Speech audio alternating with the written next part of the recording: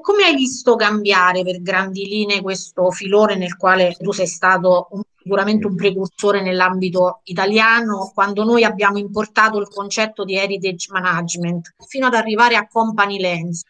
dove stai, esponi una tesi forte che mi sembra ancora una volta avanti,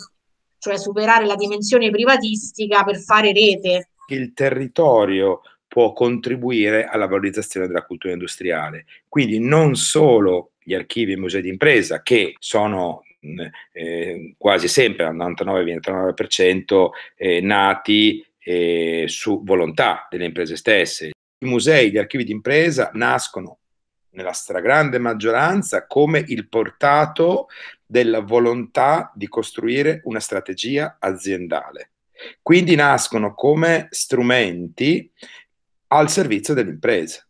al servizio dell'impresa in termini molto lati ovviamente, in termini di comunicazione, in termini di marketing e quindi la, la testimonianza della cultura di impresa anche all'interno dell'azienda per i nuovi assunti, eccetera, eccetera. Nasce come archivio legale. Quello che almeno dal mio osservatorio percepisco che queste strutture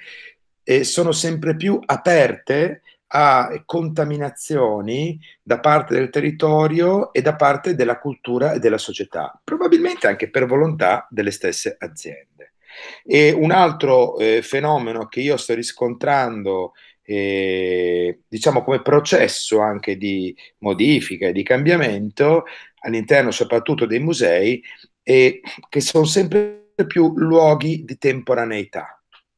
Cioè, mentre i musei nascono come eh, musei permanenti che raccontano la storia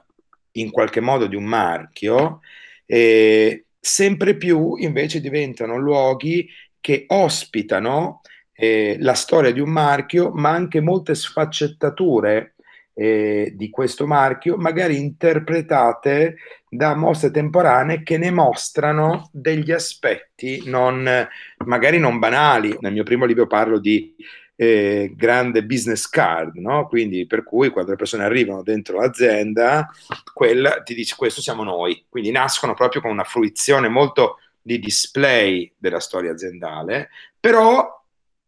visto che diventano sempre più invece soggetti culturali all'interno del territorio, eh, sempre più questo, questo, questo aspetto che comunque resiste comunque un aspetto di display della storia aziendale, però anche in termini proprio di spazi lascia sempre più spazio a una costruzione di punti di vista diversi attraverso le mostre temporanee. Io penso che questo sia il next step, cioè far diventare gli archivi e i musei di impresa non solo eh, strumenti al servizio dell'azienda, funzione nodale importantissima, ma anche ehm, luoghi di partecipazione pubblica da parte di un uh, target di visitatori molto più ampio rispetto al, al mero appassionato. Questo tema del turismo industriale è un tema ancora in Italia molto piccolo come numeri, ma con una forte potenzialità. E quindi anche molti territori stanno credendo in questo, in questo valore legato agli archivi e musei di impresa. Le auto, eh, i gioielli, eh, l'alto artigianato, la moda, sono luoghi di passione sostanzialmente, sono luoghi per cui il nostro paese è riconosciuto al mondo. Il mio lavoro è cercare di fare questo, di prendere tante storie e di queste eh, tirare fuori un punto di vista e quel punto di vista deve essere il più possibile